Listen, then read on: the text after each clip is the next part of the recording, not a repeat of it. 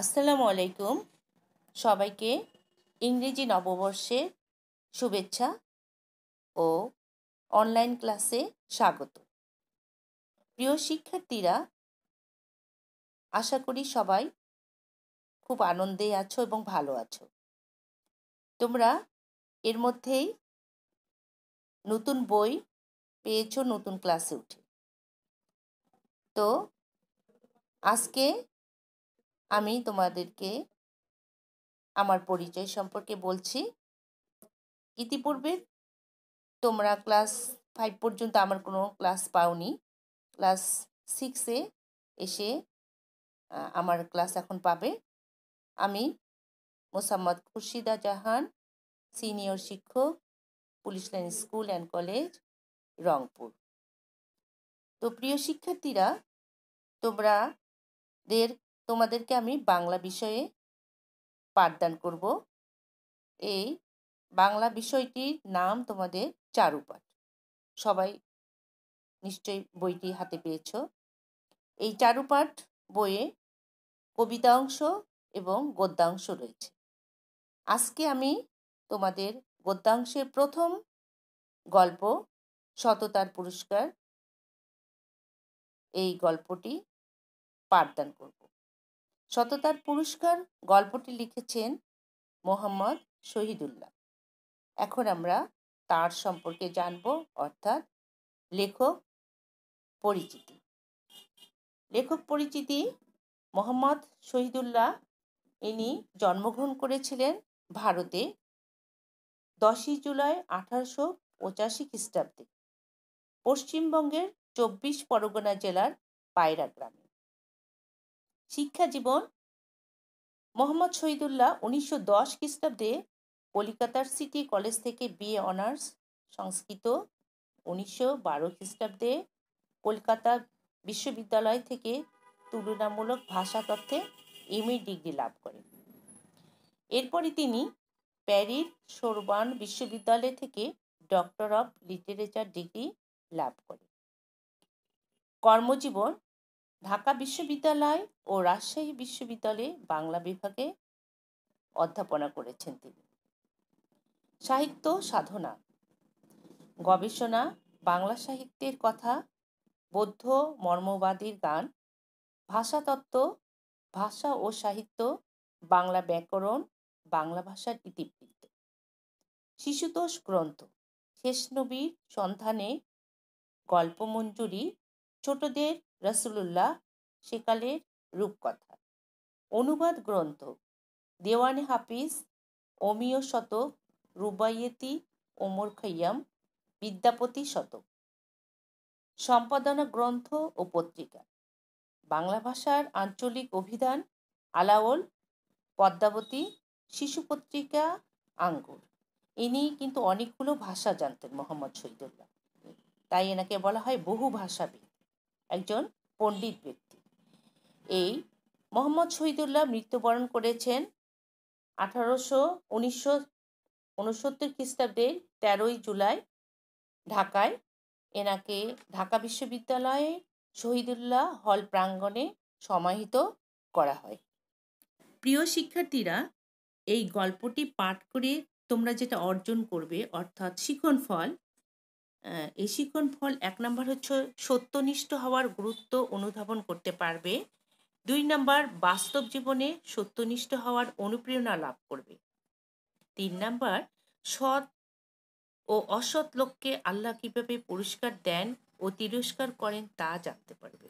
এছাড়াও আরও জানতে পারবে, মানুষের উপর সৃষ্টিকর্তার পরীক্ষা গ্রহণ এবং কর্তৃত্ব আরোপ সম্পর্কে জানতে পারবে। এরপরে জানবে উপকারীর উপকার স্বীকার করার সুফল এবং তা অস্বীকার করার কুফল সম্পর্কে জানতে পারবে। শিক্ষার্থীরা, এই গল্পটি পড়ার আগে এর কিছু কঠিন শব্দ সম্পর্কে আমরা জানব। এই শব্দগুলো জানা খুব জরুরি এবং এই শব্দের অর্থগুলো তোমরা অবশ্যই খাতায় লিখবে। তোমরা একটা খাতা তৈরি করবা, বাংলা খাতা, ওই বাংলা খাতার মধ্যে আজকের তারিখ দিয়ে তোমরা ধারাবাহিকভাবে এগুলো লিখে রাখবা। ইনশাল্লাহ স্কুল খুললে আমরা এগুলো দেখব। তো শব্দের অর্থ আমির। আমির হচ্ছে প্রধান বা ধনী।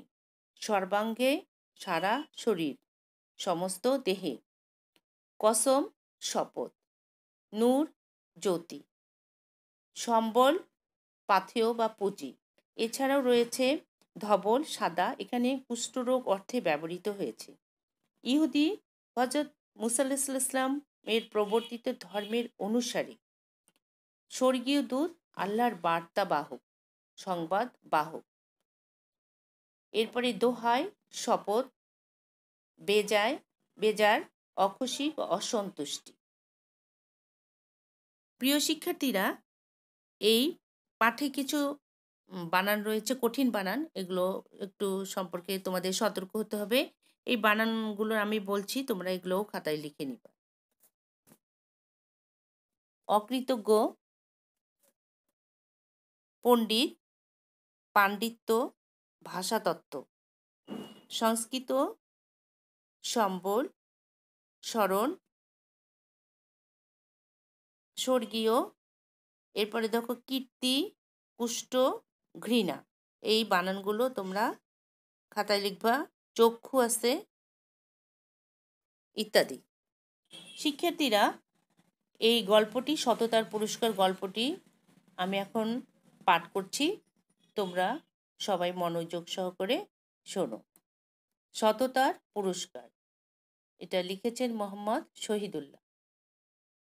সেকালে ইহুদি বংশে তিনজন লোক ছিল। একজনে সর্বাঙ্গে ধবল একজনে মাথায় টাক আর একজনে দুই চোখ অন্ধ। অর্থাৎ প্রত্যেকেরই কোনো না কোনো সমস্যা ছিল। আল্লাহ তাদের পরীক্ষার জন্য তাদের কাছে এক ফেরেস্তা পাঠালেন। ফেরেস্তা হইলেন আল্লাহর দূত, তাহারা নূরের তৈয়ারি। এমনই কেহ তাহাদিগকে দেখিতে পায় না। আল্লাহর হুকুমে তাহারা সকল কাজ করিয়া থাকে। এই গল্পটা কিন্তু তোমাদের সাধু ভাষায় রচিত। আগেকার যে সমস্ত লেখক সাহিত্যিক ছিলেন, তারা সাধু ভাষায় সাহিত্য রচনা করতেন। তো তোমরা এর আগে সাধু ভাষা এবং চলিত ভাষা সম্পর্কে অবশ্যই জেনে এসেছ। তো আমি যখন ব্যাকরণ পড়াবো, তখন তোমাদেরকে আমি এটা আরও ভালো করে বুঝিয়ে দেব, সাধু ভাষা এবং চলিত ভাষা। এখনকার লেখকরা কিন্তু চলিত ভাষায় লিখে থাকে। এরপরে দেখো ফেরেস্তা মানুষের রূপ ধরিয়া প্রথমে ধবল রোগীর নিকট আসিলেন। তিনি তাহাকে বলিলেন, কি তুমি সবচেয়ে ভালোবাসো? ধবলরে কি বলিল, আহা, আমার গায়ের রং যদি ভালো হয়, সকলে যে আমাকে বড় ঘৃণা করে। স্বর্গীয় দূত তাহার গায়ে হাত বুলাইয়া দিলেন। তাহার রোগ সারিয়া গেল। তাহার গায়ের চামড়া ভালো হইল। তারপর আল্লাহর দূত পুনরায় তাহাকে জিজ্ঞাসা করিলেন, এখন তুমি কি চাও? সে বলিল, আমি উট চাই। কে বলল এই কথাটি? ধবল রুকি ধবল রুকি ফেরেস্তার কাছে উট চাইলেন। দূত তাহাকে একটি গাভীন উট দিয়া বলিলেন, এই লও, ইহাতে তোমার ভাগ্য খুলিবে। দূত অর্থাৎ আল্লাহ সংবাদ বাহক। তারপর সেই ফেরেস্তা ডাকওয়ালার কাছে গিয়ে বলিলেন, কি তুমি সবচেয়ে ভালোবাসো? সে বলিল, আহা, আমার এই রোগ যদি সারিয়া যায়, যদি আমার মাথায় চুল ওঠে, আল্লাহর দূত তাহার মাথায় হাত বুলাইয়া দিলেন। তাহার টাক সারিয়া গেল, তাহার মাথায় চুল গজাইল। দূত পুনরায় বলিলেন, এখন তুমি কি চাও? সে বলিল গাই। তিনি তাহাকে একটি গাভীন গাই দিয়ে বলিলেন, এই লও, ইহাতে তোমার ভাগ্য খুলিবে। কে এই কথা বললেন? ডাকওয়ালা যার মাথায় চুল না থাকার কারণে কি ছিল? দুঃখ ছিল। কিন্তু সেই দুঃখ, এই স্বর্গীয় দূত কি করলেন? দূর করে দিলেন এবং তাকে উপহার হিসাবে একটি গাই দিলেন। তারপর স্বর্গীয় দূত অন্ধের কাছে গেলেন। অন্ধ হচ্ছে তৃতীয় ব্যক্তি। অন্ধের কাছে গিয়ে বলিলেন, কি তুমি সবচেয়ে ভালোবাসো? সে বলিল, আল্লাহ আমার চোখ ভালো করিয়া দিন, আমি যেন লোকের মুখ দেখিতে পাই। স্বর্গীয় দূত তাহার চোখে হাত বুলাইয়া দিলেন। তার চোখ ভালো হইয়া গেল। তারপর তিনি তাহাকে বলিলেন, এখন তুমি কি চাও? সে বলিল, অর্থাৎ অন্ধ ব্যক্তি। উনি বলিলেন, আমি ছাগল চাই। স্বর্গীয় দূত তাহাকে একটি গাভীন ছাগল দিয়ে বলিলেন, এই লও, ইহাতে তোমার ভাগ্য খুলিবে। তারপর উটের বাচ্চা হইল, গাইয়ের বাসুর হইল, ছাগলের ছানা হইল। এই রকম করিয়ে উটে, গাইয়ে, ছাগলে তাহার মাঠ বোঝাই হইয়া গেল। আজকে আমি তোমাদেরকে এই পর্যন্তই পড়ালাম। এর পরের ক্লাসে বাকি অংশটা তোমাদেরকে পড়াবো। তো এখান থেকে তোমরা যেটা জানতে পারলে, অর্থাৎ সততার পুরস্কার গল্পে কয়জন ব্যক্তি ছিলেন? তিনজন ব্যক্তি ছিলেন। এবং এই তিনজন ব্যক্তিকে পরীক্ষা করার জন্য কে এসেছিলেন? আল্লাহ প্রেরিত একজন স্বর্গীয় দূত। দূত মানে হচ্ছে আল্লাহর সংবাদ বাহক। এই আল্লাহর সংবাদ বাহক এসে তিনজন ব্যক্তি কাছে জিজ্ঞেস করেছিলেন, প্রথম ব্যক্তি কে ছিলেন? প্রথম ব্যক্তি একজন ধবল ব্যক্তি ছিলেন, অর্থাৎ তার গায়ে সর্বাঙ্গে সাদা রোগ ছিল এবং এটা নিয়ে তার খুব কষ্ট ছিল এবং স্বর্গীয় দূত এই কষ্ট দূর করে দিলেন এবং তাকে জিজ্ঞেস করলেন, তিনি কি চান? তিনি বলেছিলেন যে, একটা উট চাই। এবং স্বর্গীয় দূত তাকে একটা গাভীন উট দিয়েছিল, যেটা থেকে আরও কী হবে? উটের সংখ্যা বৃদ্ধি পাবে। এরপরে স্বর্গীয় দূত কি করেছিলেন? দ্বিতীয় ব্যক্তির কাছে গিয়েছিলেন। দ্বিতীয় ব্যক্তি ছিলেন একজন কি? টাকওয়ালা। অর্থাৎ তার মাথায় চুল ছিল না। এটা এটা তার কষ্ট ছিল। এবং এই স্বর্গীয় দূত তার মাথায় হাত বুলিয়ে দিয়েছিলেন এবং মাথায় কি হয়েছিল, চুল গাজিয়েছিল এবং তিনি আবার বলেছিলেন যে তিনি কি চান? দ্বিতীয় ব্যক্তি অর্থাৎ এই টাকওয়ালা বলেছিলেন যে তিনি গাই চান এবং স্বর্গীয় দূত তাকে একটি গাভীন গাই উপহার দিয়েছিলেন। অর্থাৎ এই গাভীন গাই থেকে অনেক কি? অনেক গরু হয়েছিল। এরপরে স্বর্গীয় দূত তৃতীয় ব্যক্তির কাছে গিয়েছিলেন। তৃতীয় ব্যক্তি ছিলেন অন্ধ। অর্থাৎ তিনি পৃথিবীর কোনো কিছুই দেখতে পান না, কোনো মানুষের চেহারা দেখতে পান না। এটা তার জন্য খুবই কষ্টকর ছিল।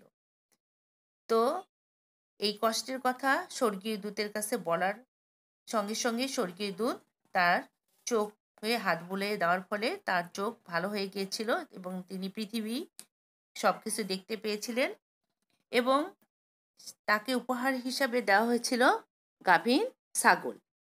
অর্থাৎ তিন ব্যক্তিকেই এই স্বর্গীয় দূত কি করেছিলেন? উপকার করেছিলেন। অর্থাৎ প্রত্যেকেরই কষ্ট দূর করে দিয়েছিলেন এবং প্রত্যেকেই উপহার দিয়েছিলেন। তাহলে এই গল্পের, গল্পে দেখা যাচ্ছে তিন ব্যক্তি ছিলেন। তিন ব্যক্তিরই তিন রকমের সমস্যা ছিল। এই যে সমস্যাগুলো স্বর্গীয় দূত দূর করে দিয়েছিলেন এবং তাদেরকে উপহার দিয়েছিলেন, যেগুলো থেকে পরবর্তীতে তাদের কি হয়েছিল? অবস্থার উন্নতি হয়েছে।